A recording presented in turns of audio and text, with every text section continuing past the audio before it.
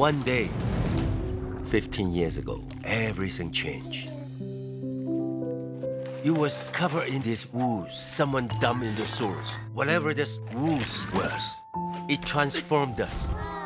It was weird, but we became a family.